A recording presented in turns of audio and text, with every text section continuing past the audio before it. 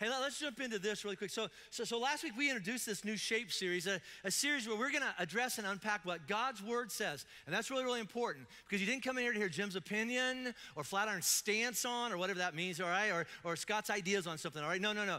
We're going to unpack what God's word says must be in place for a male to fully embrace and live out a God given, God imaging masculine identity. What we're running after is this What is the shape of biblical manhood? What's the shape of a man, right? And, and what, we're, what we're going for here are the internal characteristics that manifest themselves in external behaviors, actions, and choices our choices on the outside, all right? And so if you weren't here last week, last week, we haven't even gotten into this series yet. Last week was just an introductory series, and I spent most of my time actually talking to women, just calling two, kind of like two big elephants in the room, just, just saying them out loud. If you weren't here, let me just kind of review those for you. First, it goes like this I, I called out a reality that many of us are afraid to, to say out loud, at least in our culture today, but I did it. That's what I do, all right? And, and a bunch of heads started nodding, all right? And my inbox filled up this week with the green messages. But the elephant or the reality that I called out last week goes like this Many, if not most guys, don't even know what the definition of a good man is. We don't know let alone what God has to say about it. So most, most guys, all right, and I'm gonna use those words intentionally. I'm not using the word man, I'm using the word guys here. Most guys, we just make it up as we go. Or we look around and we see what other guys in the world are doing around us and go, well, I'll be like them. They seem like they have it figured out. But most guys, we don't know.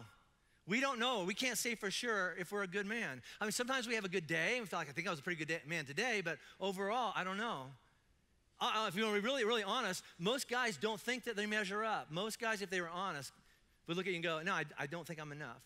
Which is why most guys are failing at masculinity, marriage, and fatherhood. Most. And that's not, again, that's not a very popular thing to say out loud in the world today, but it's still true. See, 50% of kids in the United States are growing up without their fathers under the same roof, all right? And it's not the kids' fault.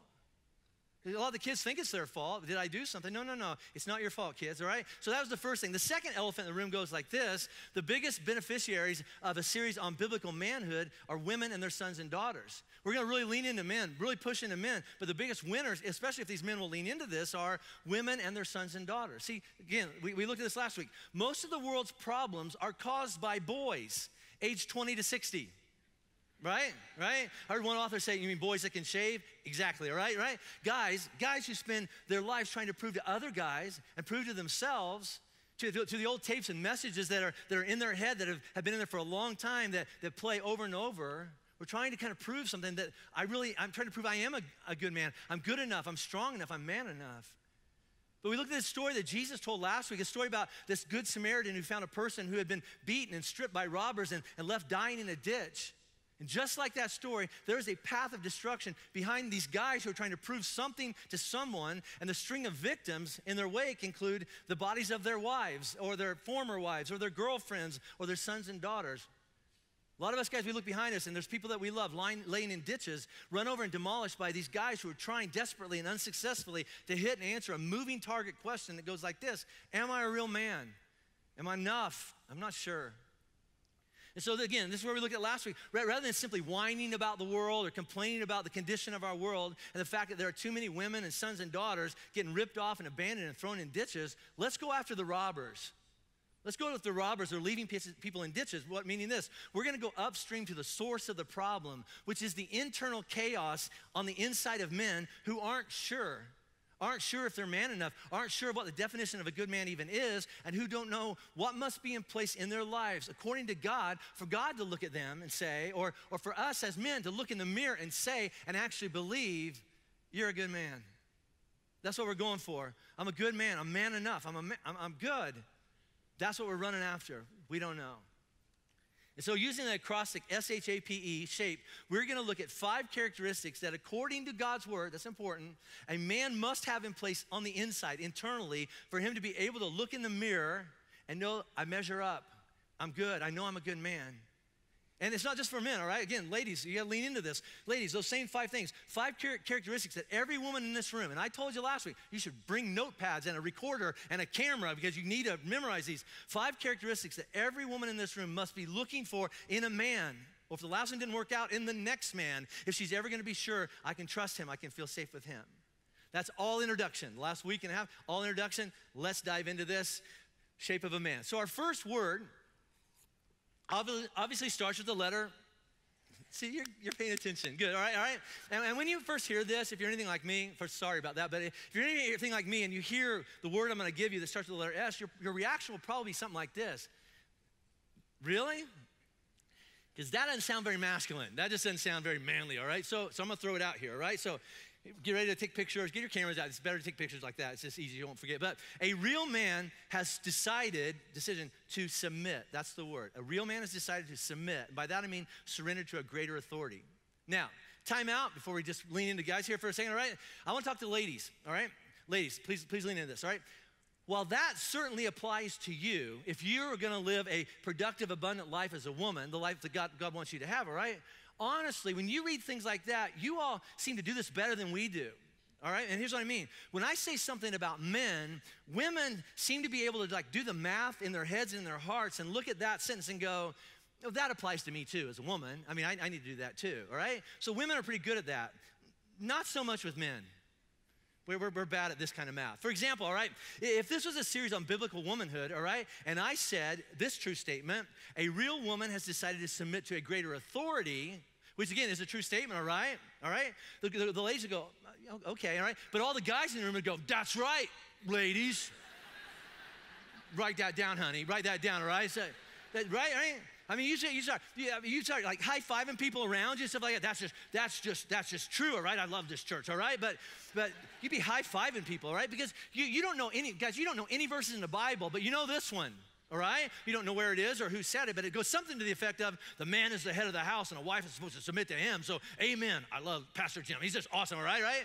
So, so, so most of us guys would go, I, I like that, I like that. But very few of us guys would do the math and go, that applies to me too we're not very good at that, right? I mean, guys, we're, we're all into the, the, the, this whole idea of this concept of submission as long as we're in charge and being submitted to. That's good, all right? See, guys love a pecking order as long as they're the ones that get to do all the pecking, right? I was gonna say as long as they get to be the head pecker, but that sounds horrible. it's, it's very descriptive, but I'm not gonna say that because there's kids in the room. But so, um, you're welcome. You're, you're, you're, welcome for that car ride home conversation. So, mom, what did Pastor Jim mean? And why do people look? You're welcome. All right, so let's move on. But most guys cringe. Some of you don't even get it. That's all right. That's good. Bless you. All right. Most guys cringe at the idea of connecting masculinity and manliness with the word submit. I don't want those in the same sentence. As in, a real man has decided to submit to something or someone who's in a position of authority or higher status or greater importance than him. I don't want to admit that. Because if a guy agrees to submit to someone or, or anything or, or anyone, it would mean that we would have to admit that somebody has something that we need that we don't have or can do something better than, than we can do. And we hate saying that out loud.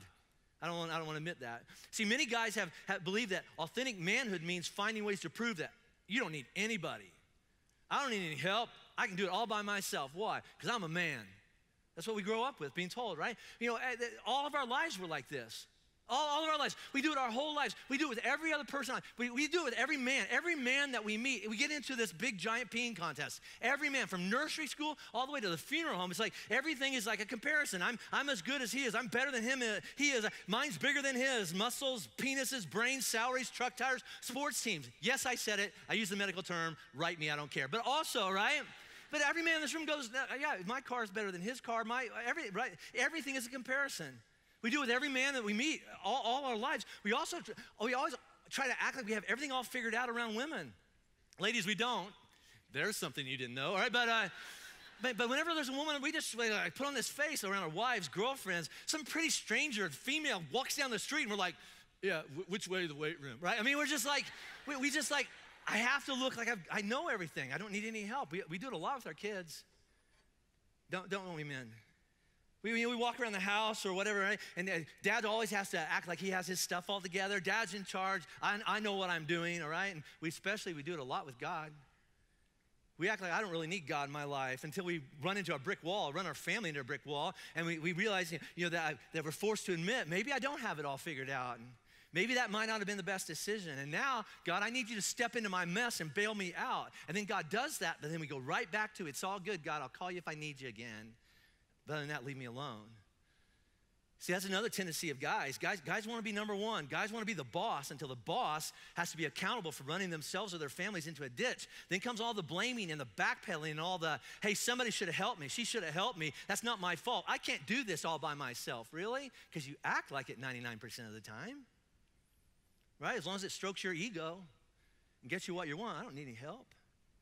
But and we're going to look at this more in a minute, but, but here's my point in all that. Independence and that whole I don't need anybody, nobody's to tell me what to do mentality is not the perspective of a man. Independence is the delusion of a fool. If you think you're independent and you can do everything by yourself, the Bible, we're to look at this in a minute, you're, you're foolish. See, see, see, think about this, all right? Think about this. If there is a God, and we're going to go with that, Okay, we're gonna go with that assumption, all right? If there's a God, then God created you to be a man, and as the one who created you, He's the one who gives you purpose. He knows the purpose for which you were created. And again, do the math. This just makes sense. The best way for you to fulfill your purpose, your destiny, is for you to place your trust in the one who created you and put you here in the first place. That just makes sense. He, he created, He made me. He probably knows how my life will work best, right? So go, go back to the, the, very, the first two or three chapters of the Bible, Garden of Eden, all right? Oldest story in the book. Adam and Eve's world did not fall apart because Adam listened to the voice of his wife, Eve. I actually grew up thinking that. It's her fault. She ate the apple and tricked him. That's what I, that's what actually what I grew up believing. It's not true. No, Adam and Eve's world fell apart because Adam let go of and stop listening to and trusting the voice of his creator, God. When God said, Adam, submit yourself to me and do what I tell you to do because it's true. And if you'll do that, you will live. But if you don't do that, if you do something else, you'll die. And everything fell apart.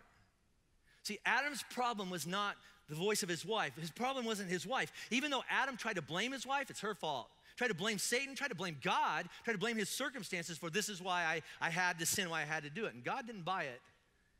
God's not going to buy that because none of those things were Adam's downfall. That's not why he blew up his life and his family. No. Adam's problem was that he refused to listen to and submit himself to God. That's why everything fell apart. So let me personalize this. Let's bring it into this room, right? Most of a man's problems come from his refusal to listen to and submit himself to God and what God says to do and not do. Isn't that just true?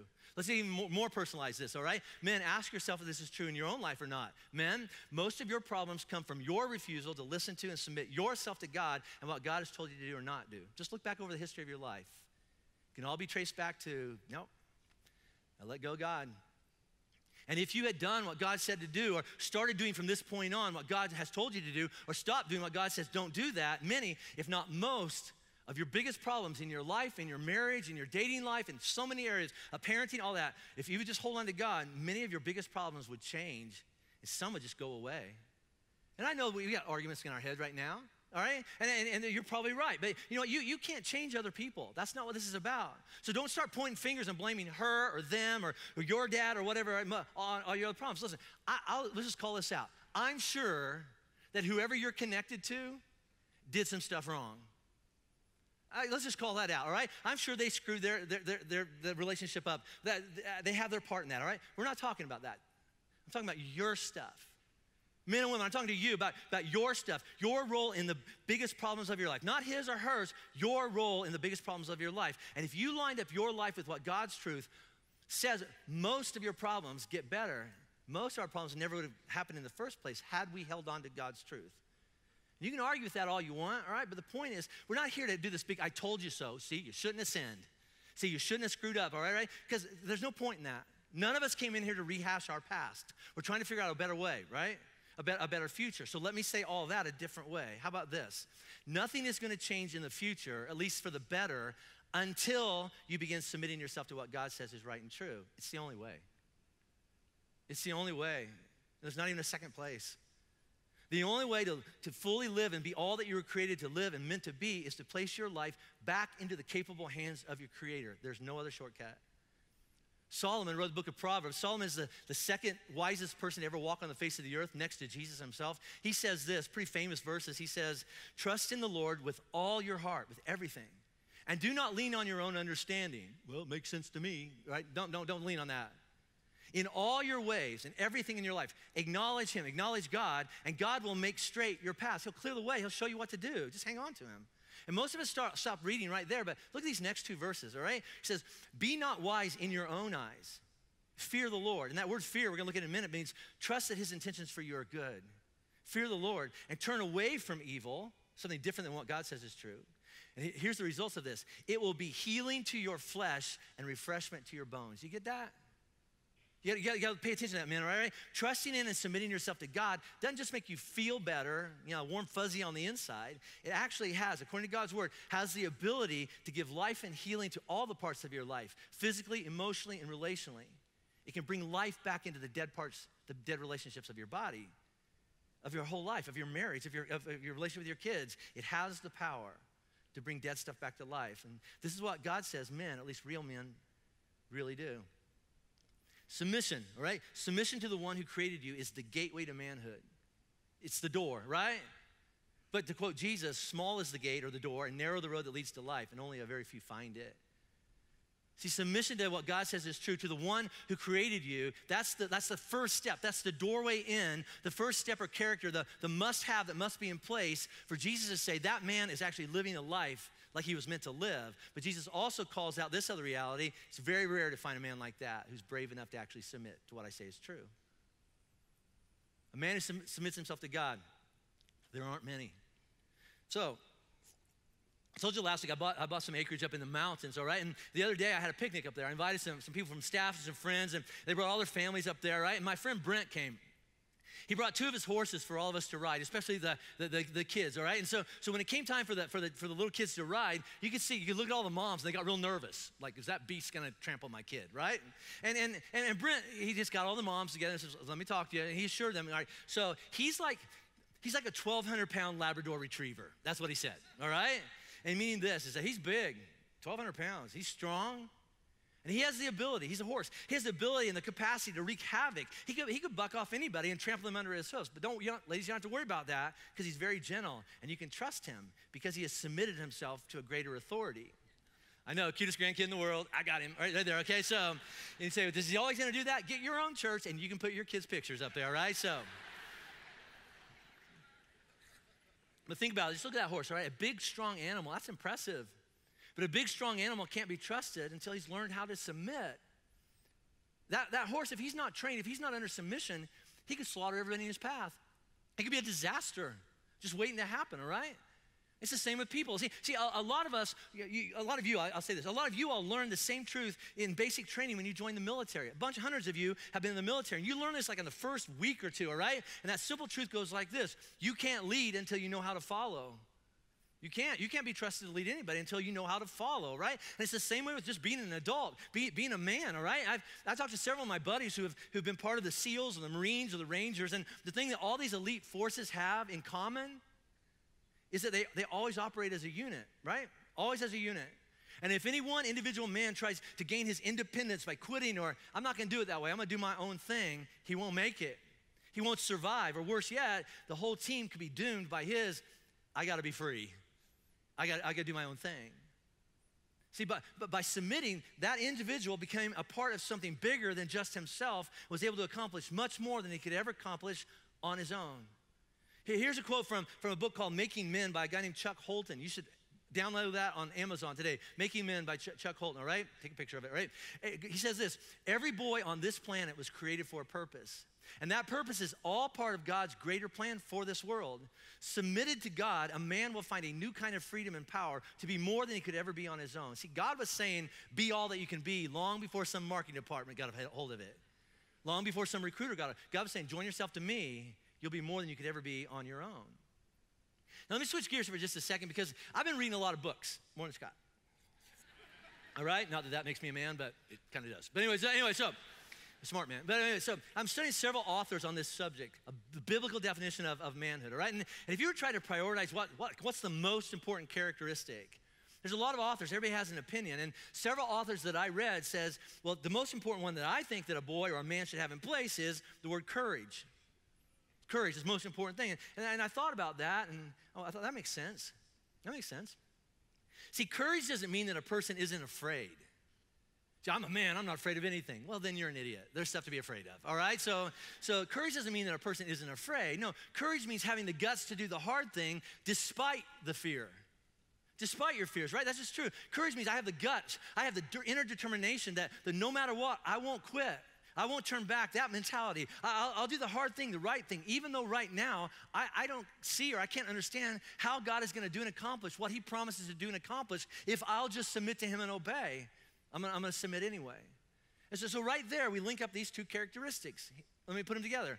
Because for a man, for anybody, but let's say, talk, talk to men here. For a man, few things are going to take more courage than to submit to what God says is true and will always be true and will never change. That's going to take guts.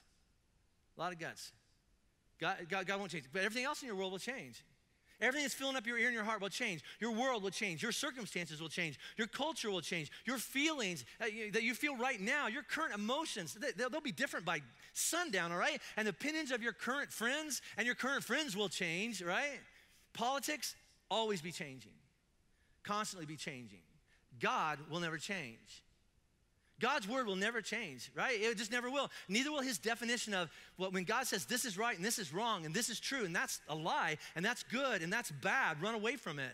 And it's gonna take a lot of courage to submit to God, especially when your feelings or what you believe in your heart or you can't currently understand how God's truth, his way, is actually better than what you can come up with on your own. I don't understand how that's true or right or better. So I'm not gonna do it. And this is where I think a lot of us men, guys, whatever you want to call us, are, are failing the most. See, too, too many men cave, c- cave in at, at the mere hint that something might, that's going to be hard, I'm out. Or inconvenient to their personal feelings, or, or what about me and what I want? Or is something painful or sacrificial might be required of them? No, that, that costs too much. Instead of rising in courage, too many men cower in fear or in selfishness and refuse to submit to what we know God is telling us. We don't have to pray about it, we don't have to think about it. We know God's saying to do this. We look back at God and go, No, I'm not going to do it. It's too hard. Listen to this paragraph from Chris Bruno's book, Man Maker Project. That's another one you should download, all right? Man Maker Project. He says this, and, and listen, parents, I'm gonna say some stuff here. If you're not ready to have a conversation with your kid, then your kid should not be in here. All right? So we're running after biblical manhood. Here's what Chris Bruno says in his book, Man Maker Project. He says, Courage just takes too much effort. And who has time for it anyway?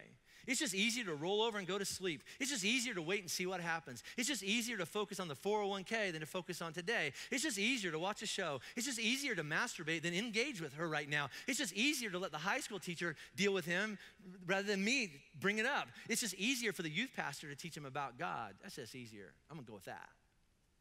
See, a man of courage holds on to what God says and does, even when it's hard and inconvenient and painful. And that's gonna take a lot of courage to do that.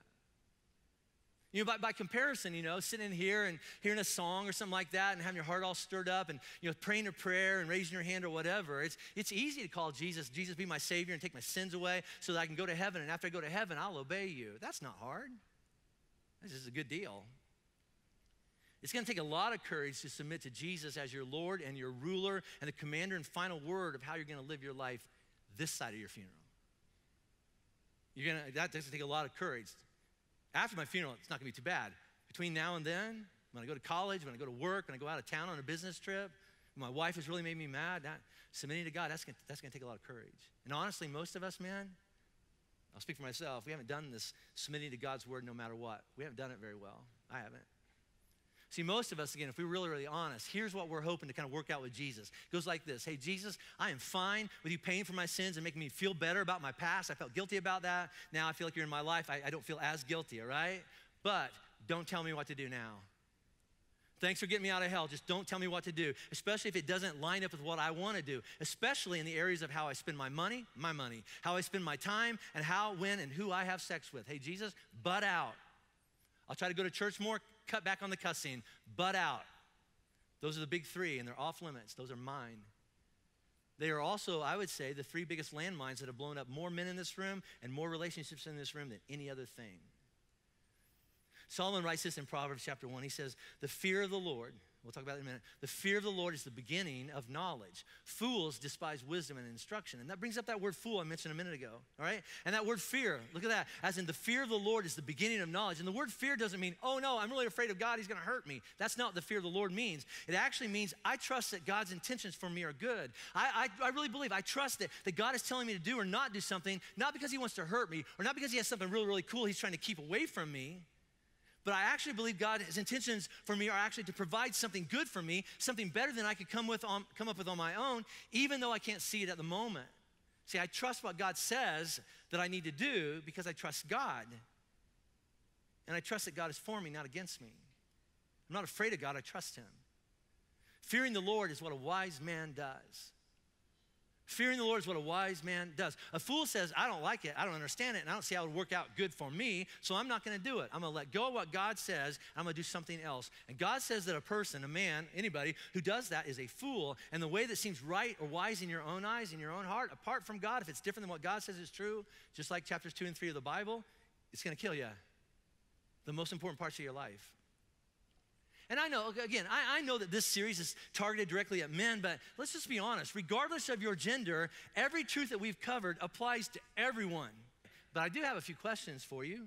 I'm not speaking to men, but it goes to everybody. If a real man courageously submits himself to God's word, let me ask you this what is the biggest, most important thing in your life that's currently not submitted to God's word? You don't have to pray about it or think about it. It's right there, isn't it?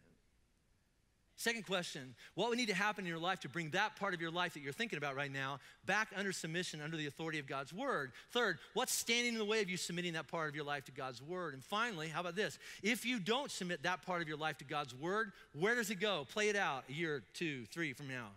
And who's most likely to end up lying in a ditch because you robbed them of what God said that He wanted to provide for them through you? Here's why because you're her husband and you're their dad, and nobody else is. That's your job. So if you really are a man, take responsibility and do what needs to be done and bring all the parts of your life, but especially the one you're thinking about right now and wrestling with God about right now, bring that under submission to God's word and get rid of the excuses. Real men, this should be up here. Real men don't make excuses, right? And I, have used them all. I don't have time. I don't have the money. I can't change. I've tried before. Listen, I call BS on that. I was gonna say God calls BS, but lightning, I don't know, all right? But uh, those aren't excuses. Here's your excuse. Here, here's the real answer I don't have the courage to submit. What else could it be? I know what God's telling me to do. I just don't have the courage to, to, to submit my, that part of my life to God. Okay, then own that. Own it. If you really want to be a man of integrity, here's what you should do, man, all right? Gather your family around the table at lunch today and say, say this, all right? Hey, family, I don't have the courage to get my own life in order. I don't have the courage to be your husband or be your dad. I don't have the courage to provide a good, safe home for you or a leader that you can depend on. So, family, you're on your own and you'll probably end up in some kind of ditch. And I'm sorry about that. Maybe your next husband or dad will do better because that is what you are communicating and that is what will land on them. And that's called silence, right? So that's one deal. How, here's the other deal on the table. How about, man, we take a courageous step starting today. Adjust what needs to be adjusted in our life. Do what you know needs to be done to line up your current life with what God says is right and true and better. Take at least a step in that direction. Do something.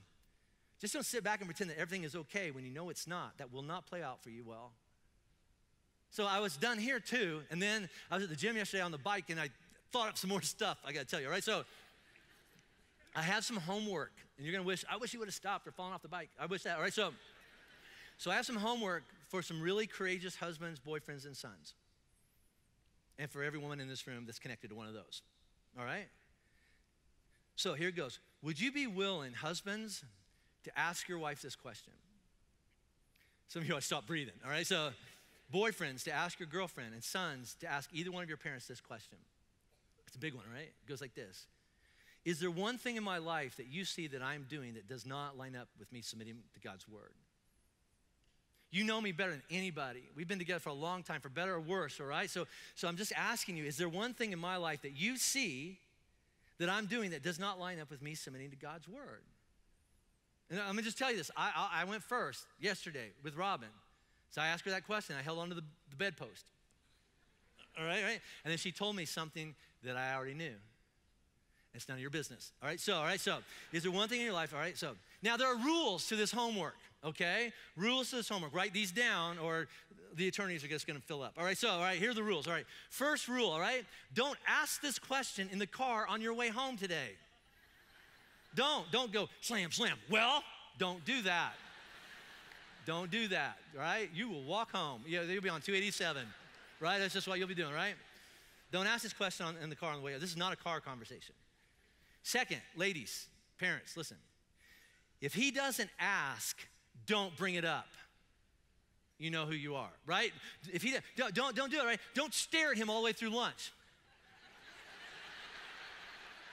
don't do it, right? Don't look across the bed before you go to bed tonight and go, Pastor Jim said you're supposed to ask me something. Come on, right? Don't do that. Don't even talk about me in your bedroom, all right? So that, that's just that, all right? ladies, ladies, not your deal, not your assignment. Don't, if he doesn't bring it up, don't, don't ask. All right? Third, all right, if he does ask you that question, wait 30 minutes to give your answer. Don't, don't just react, okay, all right? Take a breath and think about it because if he's asking you, you are the, if not one of the most important voices in his life. And what's about to come out of your mouth, he's gonna listen to it. So take a breath and think about it. Again, you're not going after your own agenda here. You're going after the thing that's standing between this, this boy or this man that you love, something that's standing in the way of him really being connected to God. Right? Which gives you the other thing. The fourth thing, it can't be about anything related to how he treats you. Not this time. Not first time up at bat. Don't bring up, well, you really hurt my, don't, don't, don't do that. Or may, that, that may happen down the road. And here's the big one, all right? Get ready to write this down. Just give him one. Just one. Some of you going, or two? No, no, no. Just, just, you know, he doesn't. Don't. Ask, he's not going to ask this question, and then don't just vomit ten. You know, here's a list right here with this and this. Right? Don't vomit ten years of dysfunction on him this this afternoon in your living room. Just just one, just one. Ladies, how many? One. That was so. Or two, three. Right? Right? No, no. how many? One. One. All right. One. Okay. So, because by asking, men, listen to this Whatever she calls out, we're going to give our word that I will not rest until I have brought that part of my life under submission to God's word. If you're not willing to do that, gentlemen, then don't ask. If she calls it out, or if my parents call it out, I will not rest until I have brought that part of my life under submission to God's word. I will pay attention to it. So, guys, you say you want to be a man. That's awesome. That's great. Do you have the courage to submit to what God says is true and best for your life and for your heart and for your current sexual expression, for your marriage, for your children, for all the most important parts of your life? Because let's be honest, most guys won't, can't, choose not to submit their lives to God. But God says that courageous submission to Him is the first step towards being the man that God created you to be. And if you don't get that one in place, we might as well not even talk about the other four. It just, it just, it just won't, it's a moot point, all right? So, the shape of a man, it starts with S. A man has the courage to submit. Let's say that out loud. One, two, three.